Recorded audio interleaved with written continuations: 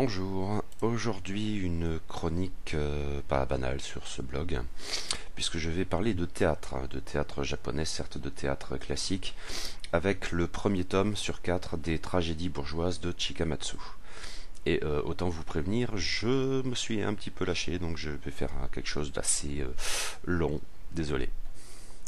Donc, je poursuis ma découverte progressive de la littérature classique japonaise avec, disons-le, un gros, un très gros morceau. Chikamatsu Manzaemon, 1653-1725, né Sugimori Nobumori, considéré comme faisant partie des trois grands auteurs, globalement contemporains, de l'époque Edo, à la charnière des XVIIe et XVIIIe siècles. Si Basho est le poète de son temps, et euh, non, merci sans façon en ce qui me concerne, et Saikaku son romancier, là oui, Chikamatsu est son dramaturge. L'Occident, toujours porté aux comparaisons jugées flatteuses, mais mettant en avant sa propre culture, n'a dès lors pas manqué de qualifier Chikamatsu de Shakespeare japonais, si tant est que cela veuille dire quelque chose. L'expression revient souvent et jusque dans la longue et passionnante introduction de l'éminent traducteur et passeur René Sieffert, encore lui, dans un volume d'ailleurs aux publications orientalistes de France, soit sa propre maison d'édition mais il en joue différemment au fond en reprenant le mot d'un traducteur et critique anglais qui, tout admirateur de Chikamatsu fut-il, affirmait et non sans raison qu'il n'y avait eu et qu'il n'y aura jamais qu'un seul Shakespeare. René Sieffert abonde, mais subvertit le mot. Il n'y a eu et il n'y aura jamais qu'un seul Chikamatsu. Tâchons de voir pourquoi. Au fil d'une longue carrière s'étendant sur une cinquantaine d'années, Chikamatsu a livré plus de 150 pièces dans deux des trois registres classiques du théâtre japonais, le kabuki et, ce qui nous intéresse davantage, le joruri, ou plus précisément le ningyo joruri, c'est-à-dire le théâtre de marionnettes, que l'on appelle aujourd'hui le plus souvent bunraku, mais c'est une désignation bien plus récente. Pour ce qui est du no, ce n'est pas vraiment son registre, il vaut mieux se référer par exemple à Zeami qui lui est antérieur. Mais cela va en fait plus loin que cela.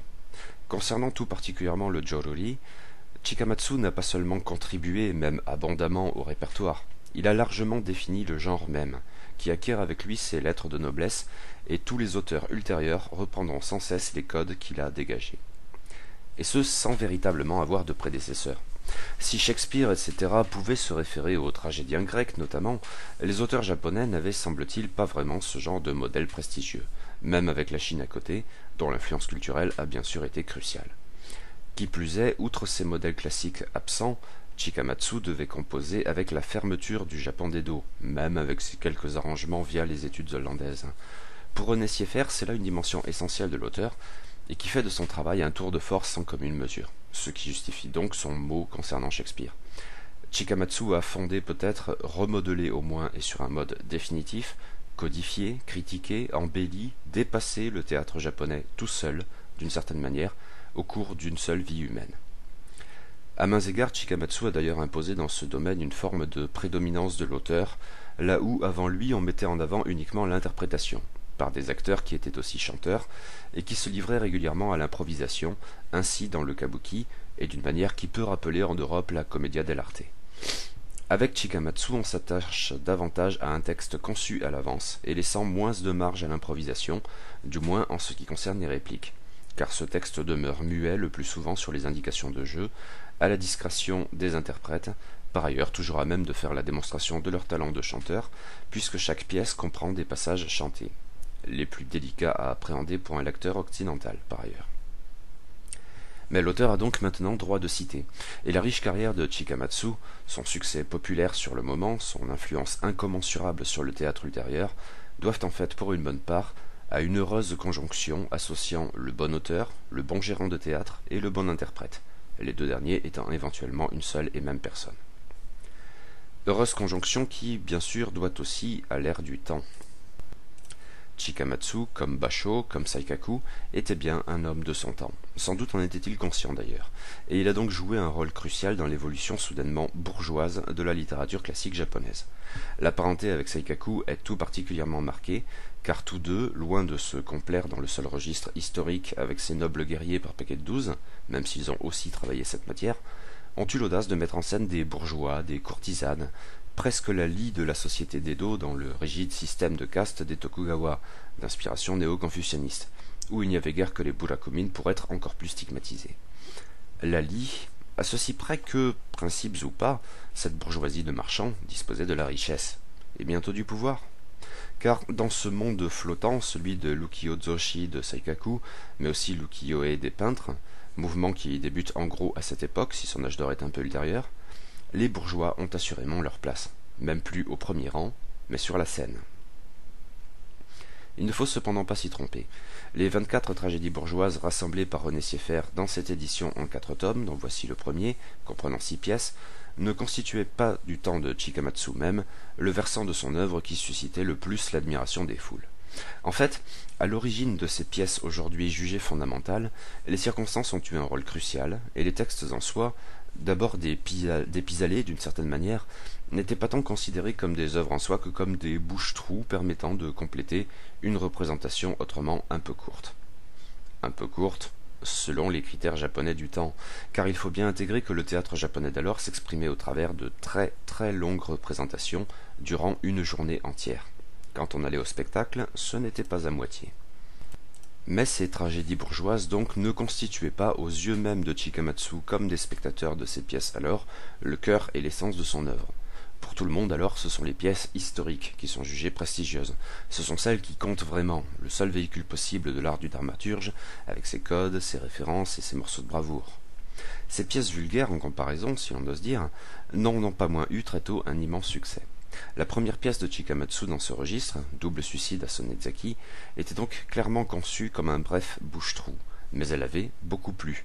Ce qui justifiait assurément que l'auteur, certes pas indifférent au succès commercial dans ce monde bourgeois, ait écrit vingt-trois autres pièces de Joruri dans le même registre, dont dix sur le même thème exactement, celui du double suicide, Shinjo. L'air du temps plus que jamais car ces tragédies bourgeoises sont des sewamono, c'est-à-dire des pièces empruntant un cadre contemporain et essentiellement inspirées par des faits divers très récents qui font l'actualité ou plus encore le scandale. Telle histoire qui passionne les bons bourgeois d'Osaka peut ainsi être mise en scène un ou deux mois seulement après les faits et devenir œuvre théâtrale. Les noms sont parfois modifiés, ce n'est pas systématique, mais le propos demeure de toute façon limpide, au point où l'on ne peut plus parler d'allusion. Le Sewamono n'est pas à proprement parler une invention de Chikamatsu. Jeune homme, il assiste à des représentations de kabuki où les plus grands acteurs du temps improvisent sur de semblables faits divers récents et que l'assistance entière connaît. Mais Chikamatsu, à partir de 1703 et du double suicide d'Atsunezaki, importe la matière dans le Joruri et en imposant donc un texte en lieu et place de la seule improvisation virtuose. De cette pièce, il use donc, et dès le titre, du thème du double suicide, ou Shinju, qui deviendrait emblématique du procédé et serait par la suite presque tout naturellement associé à Chikamatsu. Pas le seul, cela dit, à en faire usage. Sans trop m'étendre sur la question, je vous renvoie éventuellement à mon compte-rendu de La mort volontaire au Japon, l'essai de Maurice Pinguet. Rappelons simplement que, au tournant des XVIIe et XVIIIe siècles, le Japon a connu comme une épidémie de double suicide, c'est-à-dire des suicides amoureux où les amants malheureux car victimes des circonstances préfèrent mourir ensemble plutôt que de vivre séparés. Or c'est aussi l'époque des pièces de Chikamatsu, et onze d'entre elles donc mettent en avant ce thème précisément, dont cinq dans ce seul premier tome. N'est certes pas le seul à en faire usage au théâtre ou dans une forme d'édition populaire qui se développe alors, et c'est au point où le shinjo devient littéralement omniprésent, devient, autant le dire, une mode, sous deux aspects, le geste suicidaire initial et son exploitation littéraire ultérieure. Dès lors, on n'a pas manqué de supposer que ces pièces, etc., avaient leur part de responsabilité dans cette vague de double suicide. Et si, par nature, les pièces de Chikamatsu ne sont intervenues qu'après les premières occurrences du fait divers, tout spécialement celle de Sonezaki, sur laquelle il reviendrait sans cesse, et d'autres comme lui, il y a tout de même là une certaine ambiguïté. Je crois que ce n'est pas tout à fait la même chose que les accusations idiotes que ne cessent encore de porter, contre ce qui les dépasse, tels imbéciles à la vue courte pour qui le théâtre, les romans, les films, les jeux de rôle, les jeux vidéo en attendant la suite, ne sauraient être autre chose que des catalyseurs de violence ou d'autres comportements antisociaux. Peut-on exclure, dans le cas des tragédies bourgeoises de Chikamatsu, et de ses nombreux collègues, ou dans les feuillets populaires, etc., l'éventualité que le traitement artistique du Shinju ait pu le rendre séduisant On peut supposer, j'imagine, et sans se montrer trop hardi, qu'il a pu y avoir comme une boucle de rétroaction en l'espèce, rendant comme telle parfaitement vaine la quête de la causalité en définitive. ce qui a peut-être été alors le point de vue des autorités, au niveau du shogunat d'Edo ou à Osaka. Elles ont fini par critiquer cet engouement morbide et par en rendre responsables les théâtres, alors même, je crois, jusqu'à prohiber l'emploi du terme de Shinju, au moins dans les titres des pièces, expédient éloquent quant à son impuissance à l'affaire. Ceci étant, pour s'en tenir à Chikamatsu, les onze pièces traitant du double suicide ne se contentaient pas d'être de simples redites. Dans le présent premier tome, comportant six pièces, comme chacun des trois qui suivent, c'est le thème primordial, mais il est susceptible de divers avatars. Le double suicide à Sonezaki en est l'expression la plus pure, et d'une certaine manière la plus sèche. Une chanson de Satsuma n'y renvoie que par la bande, et est à la lisière du Sewamono. C'est par ailleurs une pièce positive, de début d'année, j'y reviendrai, comportant des éléments marqués de comédie. Deux livrets illustrés pour un double suicide jouent de l'ambiguïté d'un cas limite où le double suicide n'est pas complet, puisque pas accompli au même endroit, et entame par ailleurs une forme de réflexion métatextuelle sur le thème du Shinju depuis Double Suicide à Sonezaki. Les deux pièces qui se suivent, Crêpe écarlate rutile en feuillage de la lune des Dodzi, oui, c'est le titre, et Crêpe retin à la lune des Dodzi, présentent cette fois un double suicide authentique, mais d'une certaine manière décalé dans le temps, puisque l'homme survit à sa tentative de suicide de la première pièce, pour mettre fin à ses jours dans la seconde, bien après son amante donc. La dernière pièce de ce premier tome Aorikawa, le tambour des vagues, ne traite pas d'un cas de double suicide, exceptionnellement. Mais toutes ces pièces, et en tant que Sewa Mono, se fondent bien sur des faits divers le plus souvent très récents, quelques mois à peine, à l'exception d'une chanson de Satsuma, qui renvoie à quelque chose de plus ancien, d'une quarantaine d'années environ. C'est décidément un texte à part dans ce recueil, et j'ai du mal à le qualifier de tragédie bourgeoise. En fait, cette désignation retenue par René Sieffert est éventuellement critiquable. La dimension bourgeoise, globalement, est indéniable. Le fait est que la plupart des personnages de ces pièces sont des bourgeois. Mais ne pas se tromper sur le terme en y associant des connotations de fortune pas toujours pertinentes. Si les marchands occupent une place de choix dans ces pièces, certains d'entre eux sont passablement pauvres. Et l'argent, pour un homme qui s'avère en fait démuni, peut avoir un rôle déclencheur dans le double suicide. C'est le cas de manière marquée dans Double suicide à Sonezaki, mais aussi dans les deux pièces qui se suivent du crêpe. D'autres marchands sont plus confortables, mais les deux types ensemble constituent une représentation finalement assez étendue de la bourgeoisie d'Osaka, surtout. C'est la capitale économique du pays et, sauf erreur, la ville japonaise la plus peuplée alors. La carrière de Chikamatsu a débuté à Kyoto, où il a beaucoup écrit pour le kabuki, mais il s'installe à Osaka à peu près à l'époque des pièces de Joruri compilées dans ce volume, et il n'y a probablement pas de hasard à cet égard si d'autres dimensions, économiques ou même personnelles, expliquent ce déménagement. En fait, la dimension bourgeoise peut, tout autant et éventuellement davantage, être envisagée comme mettant en avant la roture, disons, par rapport aux samouraïs, aux bushi. En fait, c'est d'autant plus opposé aux samouraïs que les marchands représentent la caste la plus basse de la société d'Edo. Chikamatsu lui-même était issu d'une famille de samouraïs. Mais cela faisait plusieurs générations que ses ancêtres s'étaient tournés vers la médecine, ce qui était à l'origine sa propre vocation. Mais, visiblement, il ne porte pas les samouraïs dans son cœur. Il les raille volontiers dans ses pièces de Joruri, ses Sewamono plus précisément. Je suppose qu'il n'en va pas de même pour ses pièces historiques, même si l'actualité pouvait en fait ressurgir là encore, ainsi de l'affaire des 47 Ronin, toute récente et qui a inspiré à Chikamatsu plusieurs pièces. Un volume des publications orientalistes de France, sous la direction de René Sieffert, en rassemble sauf erreur deux, associés à deux autres pièces sur le même thème, qui ne sont, elles, pas dues à notre auteur. J'ai ça, je lirai un de ces jours. Bien sûr, on peut supposer qu'il en rajoute un peu, car son public bourgeois se régalait sans doute à ses moqueries pour ses bouchis intransigeants et hautains, qui les spoliaient du pouvoir politique alors même que leur fonction de guerrier avait quelque chose de totalement absurde dans le Japon pacifié d'Edo. Deux de ces six pièces usent de semblables personnages. Une chanson de Satsuma, pas tout à fait un Sewamono donc, une pièce de début d'année, et Aorikawa le tambour des vagues. La première a quelque chose de léger et propice à la comédie, grivoise le cas échéant, là où la seconde, même si pas totalement dénuée d'aspect humoristique, est globalement bien plus grave, et surtout perfide, voire colérique. Chikamatsu se moque de ces samouraïs qui semblent juger honorable de massacrer des femmes ou des bourgeois sans défense, mais c'est une raillerie imprégnée de fiel. Reste que ces deux pièces sont à part dans ce volume, et pour le coup pas vraiment bourgeoises, ou pas totalement dans le second cas, outre qu'une chanson de Satsuma n'est pas une tragédie à mes yeux. Mais ces considérations sur la bourgeoisie et la roture s'appliquent bien sûr avant tout aux hommes dans ces pièces. Le cas des femmes est tout autre, car elles sont reléguées peu ou prou à deux rôles, l'épouse ou la courtisane. Leur statut bourgeois ou samouraï relève alors de la répercussion via les hommes en cause. Ces deux archétypes, cependant, peuvent prendre des formes en définitive assez variées, tout particulièrement sur le plan éthique, des plus admirables aux plus méprisables. Notez une chose toutefois, dans les pièces de Shinju, ce sont systématiquement les femmes qui proposent le double suicide à leurs amants, ce qui correspondait parfois aux faits, mais pas toujours. Chikamatsu dans ses Sewamono se montrait généralement assez fidèle aux événements, mais pas au point d'abandonner toute marge de manœuvre. Bien au contraire, dans l'intérêt de l'art, il se ménageait toujours des espaces de liberté. Et à bon escient parce que c'est souvent dans ces entorses à la réalité que se situent les plus beaux moments des pièces. Mais qu'en est-il donc de la dimension tragédie, mise en avant dès le titre par René Sieffert Elle me paraît beaucoup plus critiquable.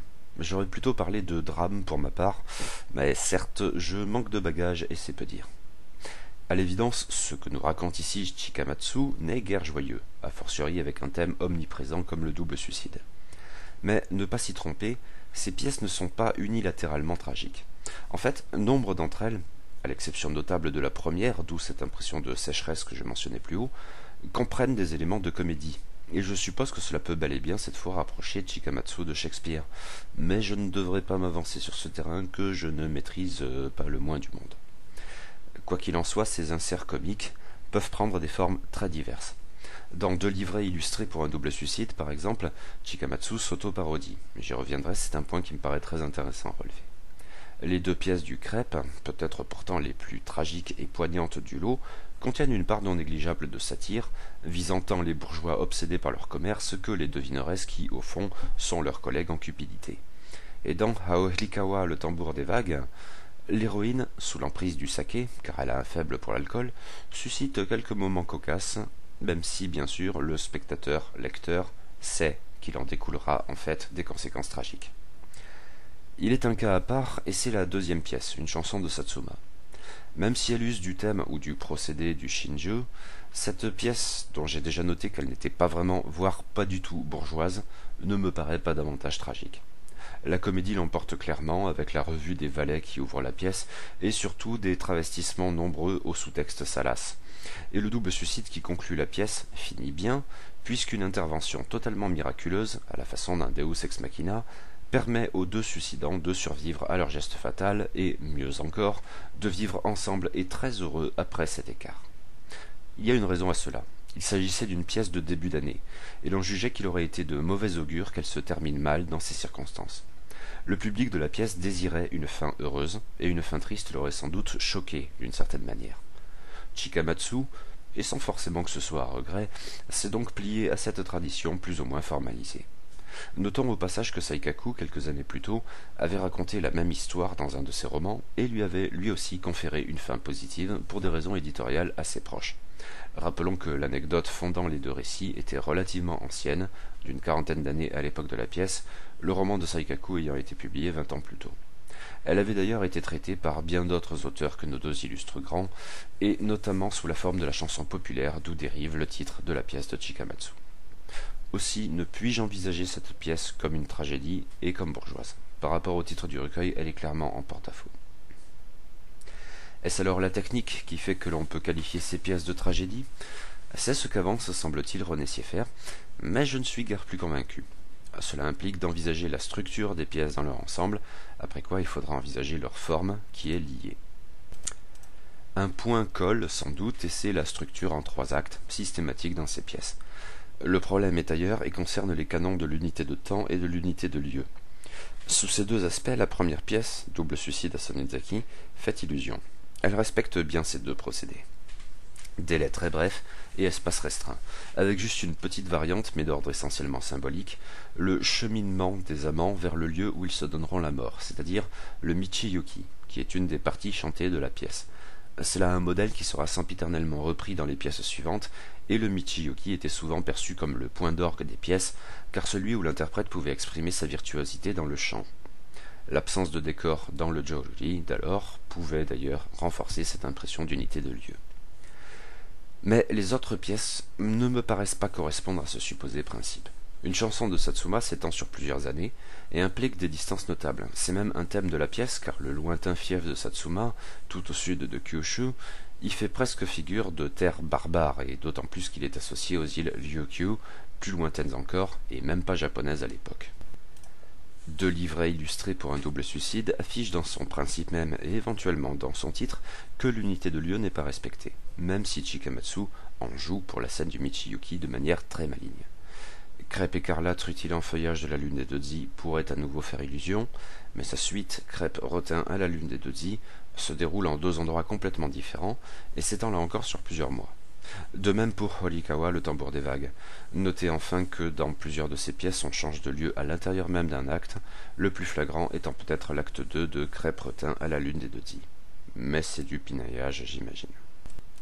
Quelques mots toutefois sur la forme des pièces, ce qui va au-delà de leur structure en trois actes systématiques.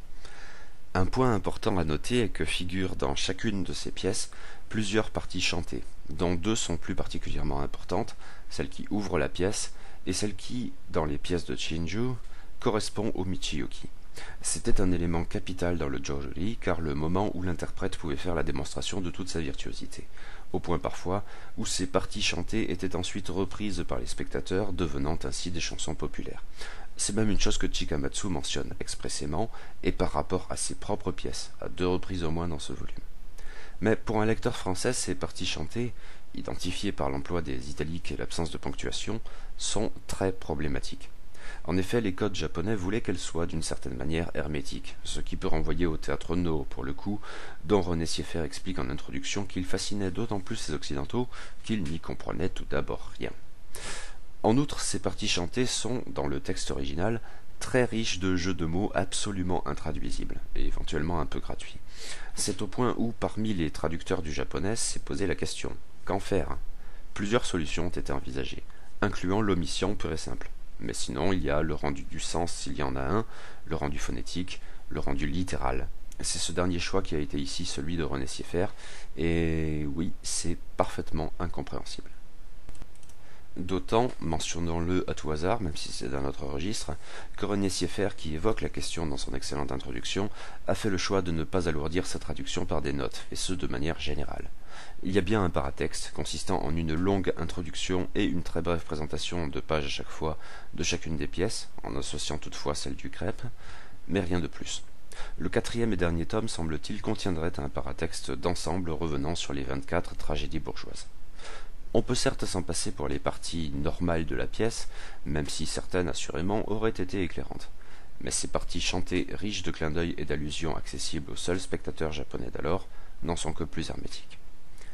Cette difficulté mise à part, il faut relever un aspect peut-être étonnant pour les lecteurs occidentaux, car ces pièces de Chikamatsu ne sont pas formellement présentées comme le théâtre que nous connaissons, ainsi avec l'identification systématique des personnages en train de s'exprimer ou les didascalies.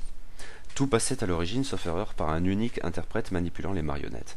Dès lors, cet interprète, l'acteur de la pièce, en récitait le texte, et le chantait parfois donc, à la manière d'un chœur, décrivant le cas échéant les actions de ces marionnettes, mais aussi le décor brillant par son absence, ensuite de tout ce que les pantins ne sauraient pouvoir exprimer. De fait, les pièces ont plutôt une allure de nouvelle, avec un narrateur omniscient, des répliques identifiées par des guillemets ou les tirets, des dit-il, etc.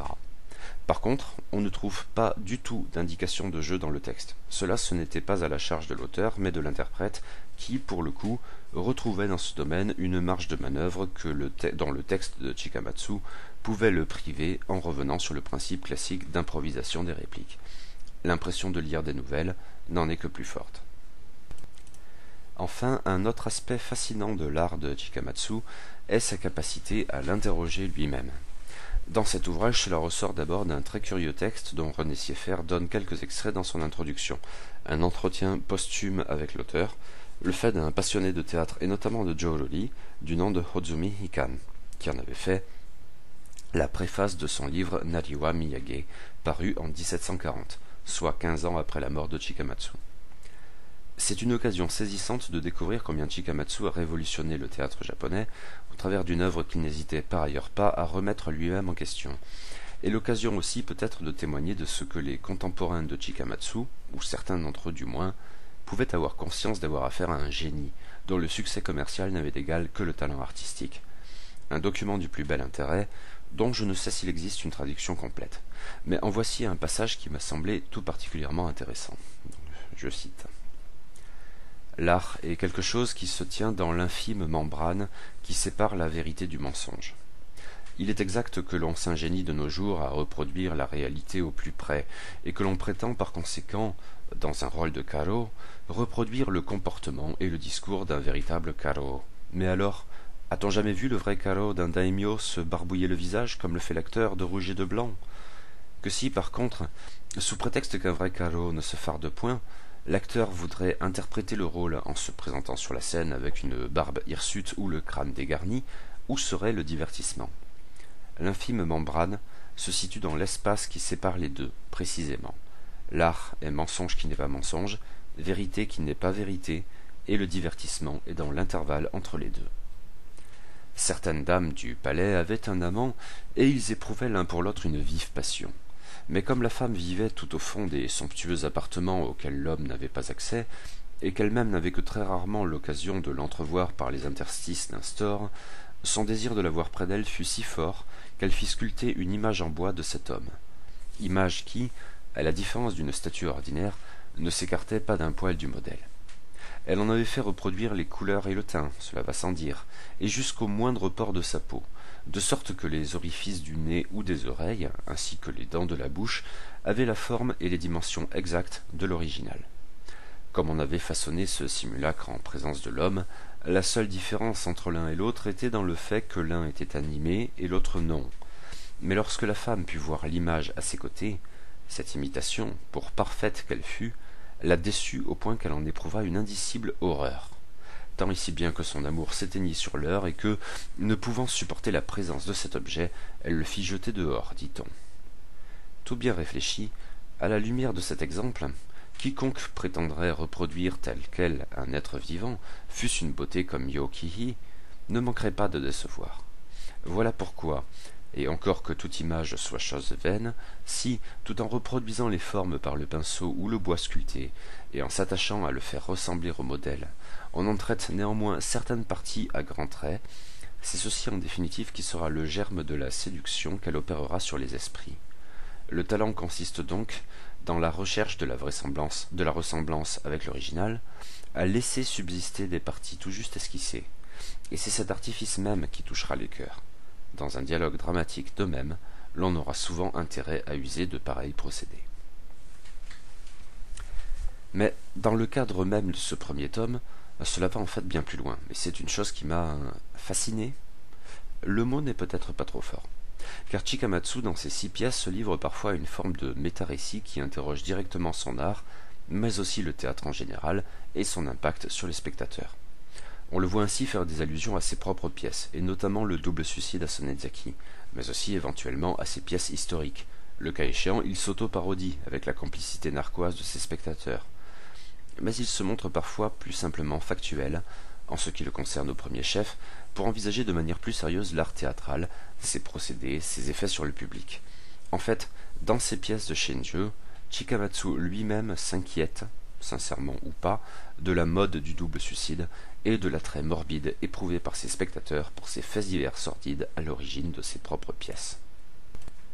En fait, Chikamatsu est d'une certaine manière impitoyable, pour son art, pour ses sujets, pour ses personnages, pour son public et tout en s'acquittant de sa tâche avec tout le brio que l'on est à droit d'attendre d'un immense artiste tel que lui, qui était tout autant un auteur populaire, il n'épargne pas ses clients de ses piques et au-delà des seules perfidies portant sur l'éthique bourgeoise. Ainsi, dans Ha Ohorikawa, le tambour des vagues, pièce dont le titre, si poétique à nos yeux, déborde en fait de signification, car l'histoire met bien en scène un maître de tambour, à ceci près que Horikawa, par contraste, désigne un ruisseau certes pas à même de produire des vagues, tambour ou pas. Dès lors ce titre se veut d'une certaine manière une critique du contenu même de la pièce, basée sur une anecdote scabreuse, mais hélas banale également. Et l'on pourrait donc le rendre par beaucoup de bruit pour rien? C'est en tout cas ce que suggère René Sieffert. je vais maintenant tâcher de dire quelques mots de ces six pièces. Double suicide à Sonezaki que j'avais déjà lu sous le titre La mort des amants à Sonezaki dans la très bonne anthologie Milan de littérature japonaise conçue et traduite par Nakamura Yoji et René de Sekati, est donc la première des tragédies bourgeoises de Chikamatsu, et donc une pièce de Joruri. Chikamatsu n'y accordait à la base guère d'importance, et c'est peu dire. La pièce était envisagée comme un expédient pour compléter une pièce historique, la vraie pièce de la représentation, qui s'était avérée un peu trop courte.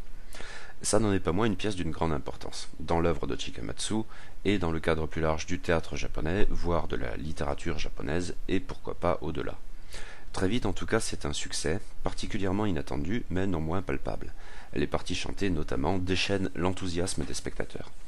Pour Chikamatsu, son théâtre et son interprète, c'est là le signe qu'il faut persévérer dans cette voie. La pièce, élaborée un peu à la va-vite, s'appuie donc sur un fait divers très récent.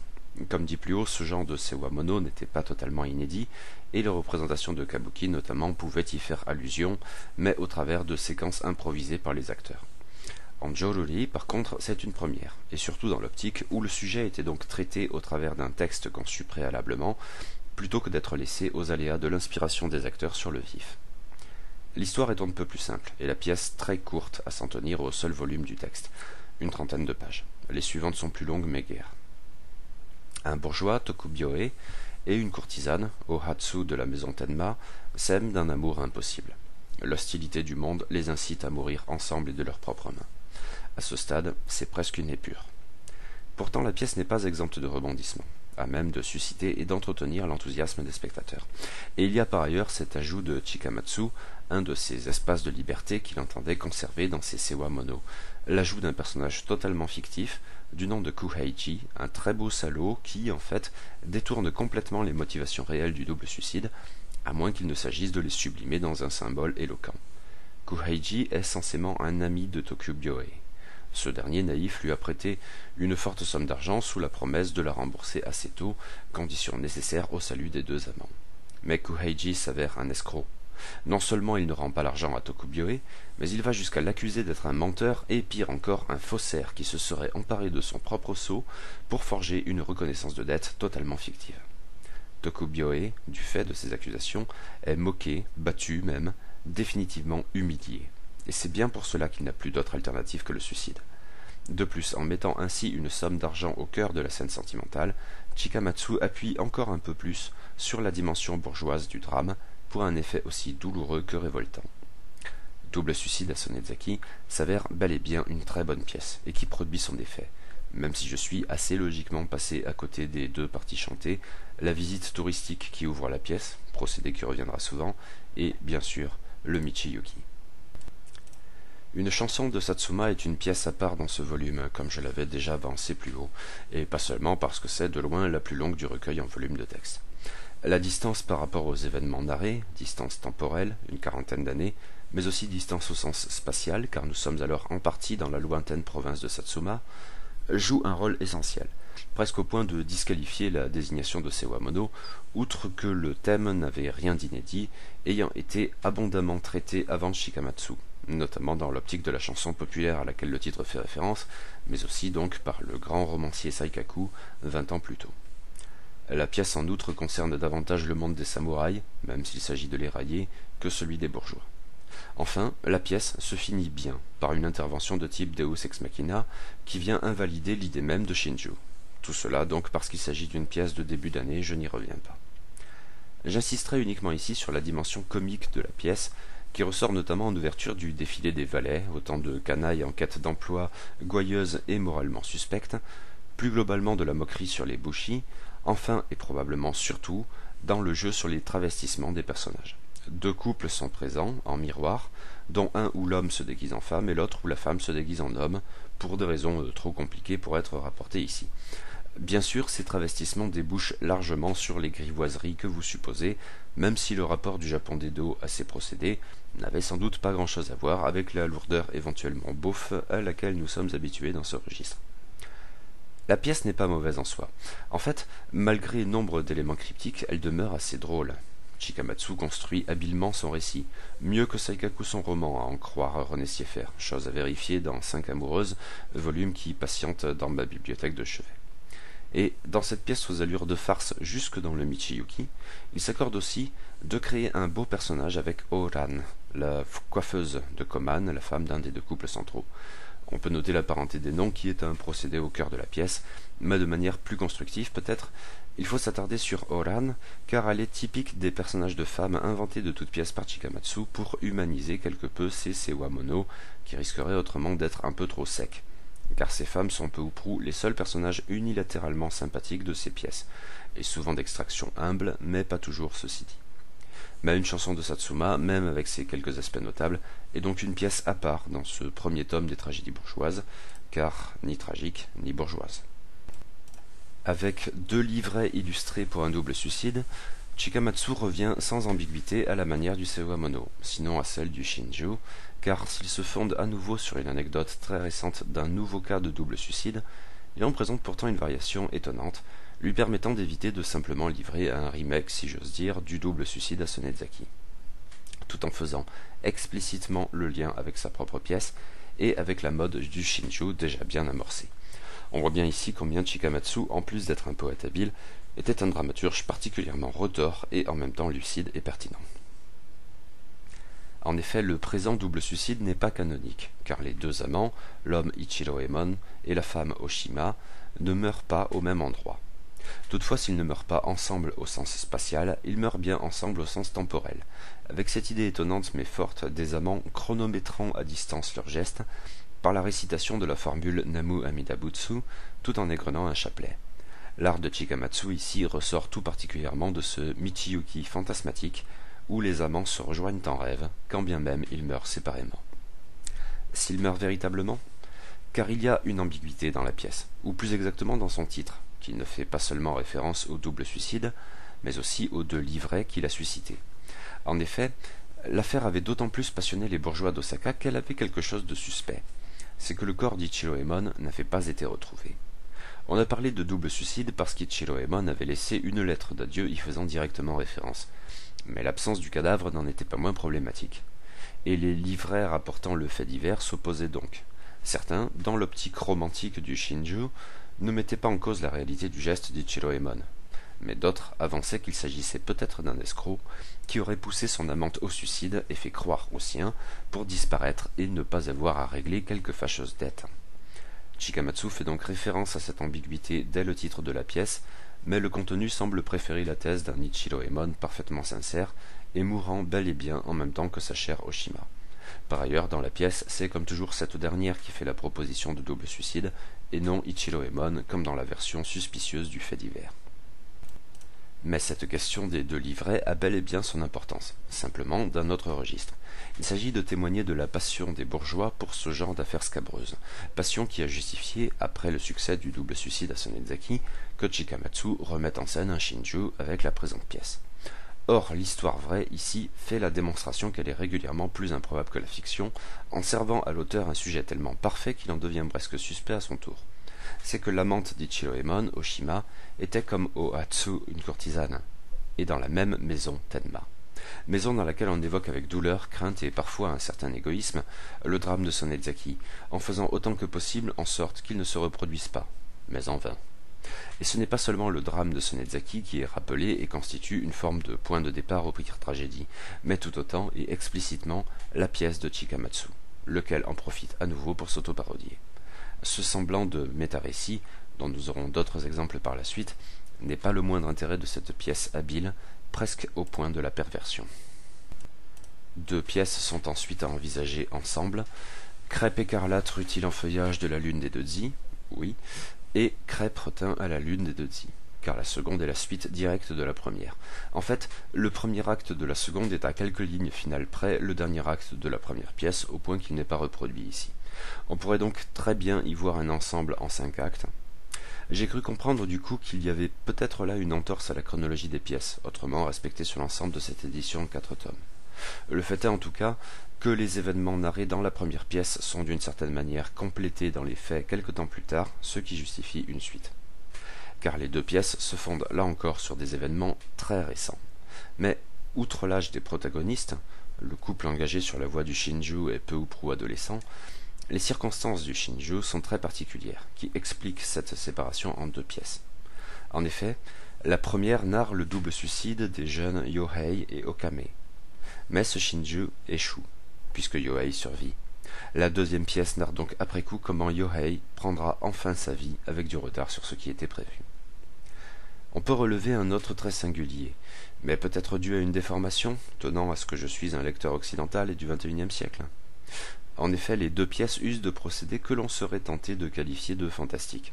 Dans les deux pièces, on trouve la même devineresse qui évoque tout d'abord, à la demande d'Okame, l'esprit d'un Yohei pourtant bien vivant, tandis que dans la seconde pièce, à la demande de sa famille, elle évoque l'esprit d'Okame morte, lequel esprit rend ensuite visite au survivant Yohei, ou plutôt Jokyu, puisque tel est son nom de religieux. Sa famille l'a fait rentrer dans les ordres pour éviter le châtiment réservé aux suicidants de Shinjo qui se raterait à la peine de mort, bien sûr. Mais les spectateurs nippons d'alors n'y voyaient pas forcément quelque chose de fantastique, du moins concernant l'activité de la devineresse, que Chikamatsu raille un peu au passage pour son goût du lucre, qui en fait bel et bien un personnage bourgeois. La visite du fantôme d'Okame à Jokyu je tente par contre à croire qu'il ne faut pas la prendre au pied de la lettre, et que le public de Chikamatsu était porté à l'envisager pour ce qu'elle est, un pur effet dramatique. Il y aurait sans doute beaucoup à dire sur ces deux pièces liées, très riches. Je note tout de même, avant tout, que leurs personnages ne sont globalement guère sympathiques. En fait, il n'y en a pas un pour attraper l'autre. Ou plutôt si, il y en a un. Comme Oran dans une chanson de Satsuma, le personnage le plus aimable de la pièce a été entièrement inventé par Chikamatsu. Il s'agit de la tante, anonyme et aveugle, tant de Yohei que d'Okame.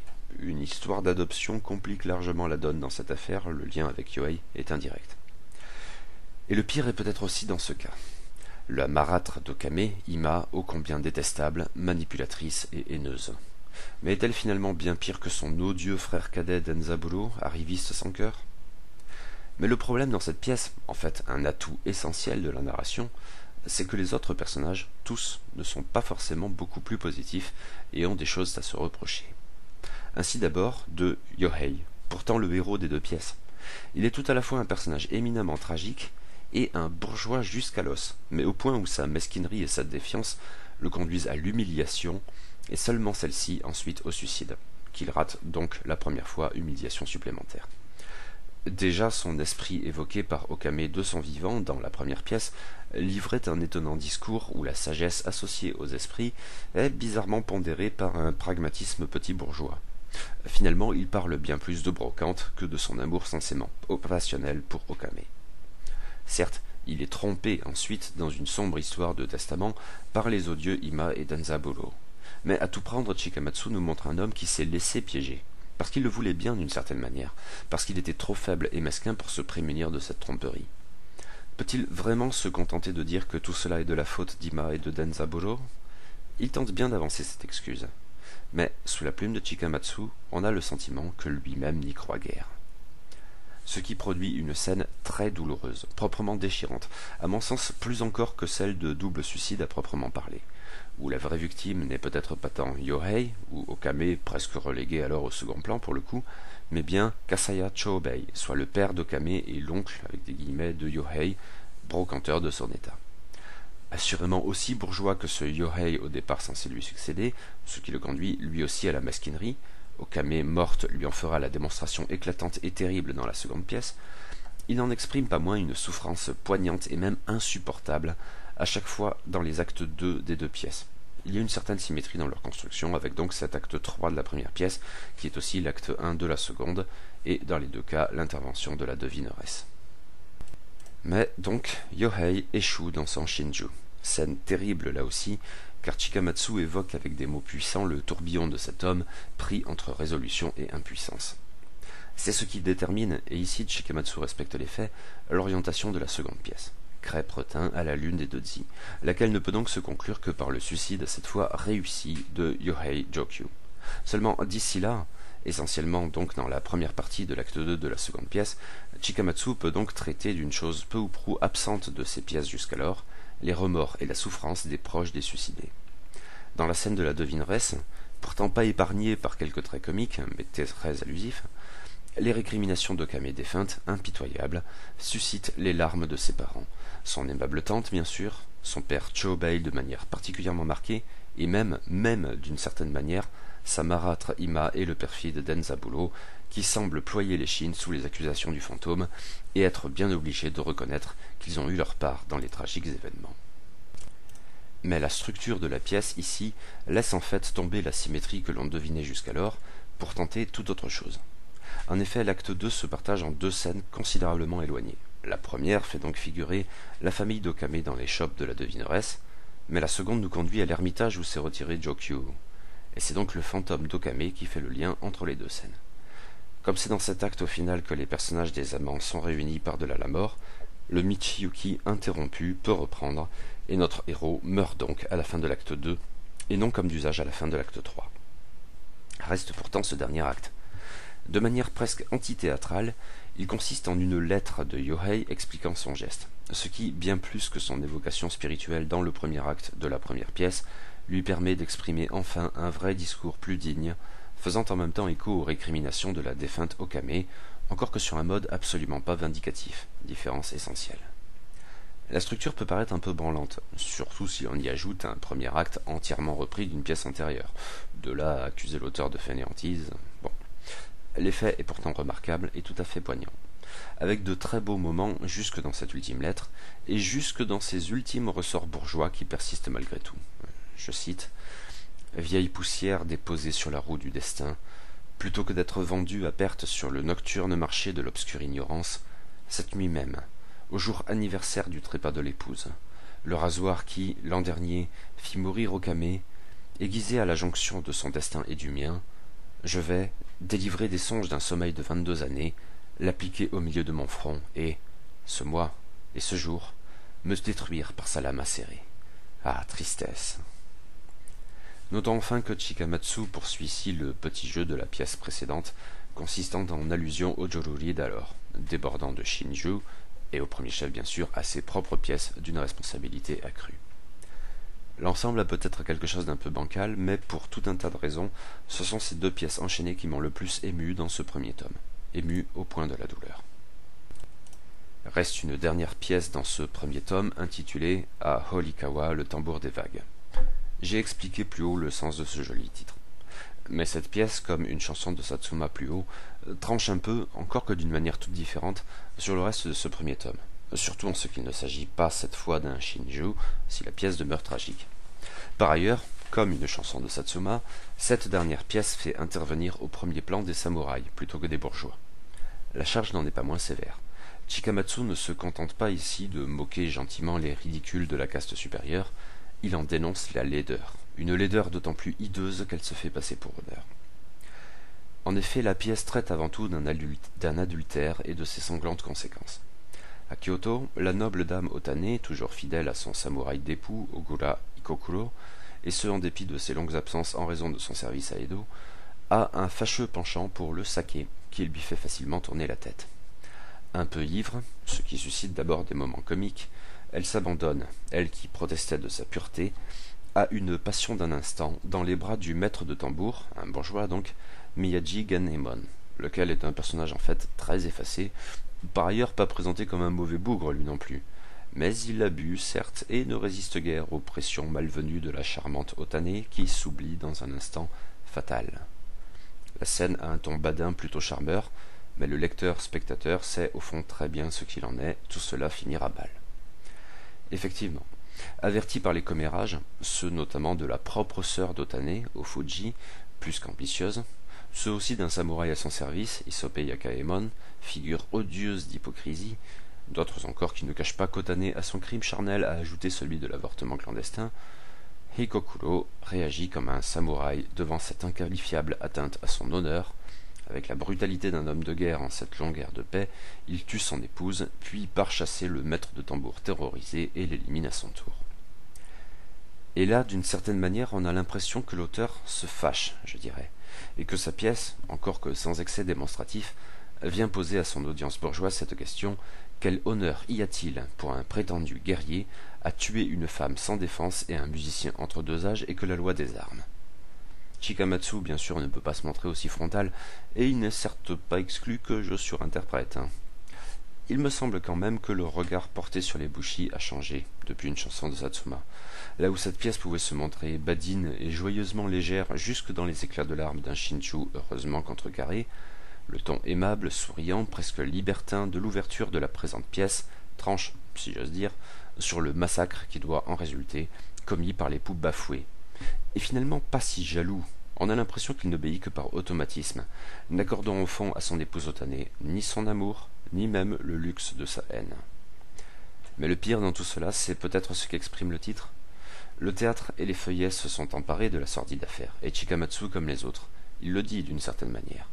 Mais le plus terrible est peut-être que ce drame, loin de l'aura romantique du Shinju à la mode, est d'une affligeante banalité. À Holikawa, le tambour des vagues, ou beaucoup de bruit pour rien Je ne vous cacherai pas m'être engagé dans ce premier tome un peu à reculons. Je redoutais, après avoir déjà lu sous une autre traduction et un autre titre La mort des amants à d'enchaîner des pièces répétitives, sans doute brillantes aux yeux d'un public japonais lettré, mais plus hermétiques et plus sèches pour un lecteur occidental contemporain. Je craignais un peu, en fait, d'être complètement insensible à ce propos. Que Chikamatsu, en somme, me fasse l'effet de son contemporain Basho. Autant dire que je me forçais un peu, parce que je ressentais une forme de nécessité extérieure à lire ce grand classique de la littérature japonaise, pour en avoir au moins une vague idée, mais sans en attendre forcément grand-chose de très palpitant. Rien de plus faux pourtant.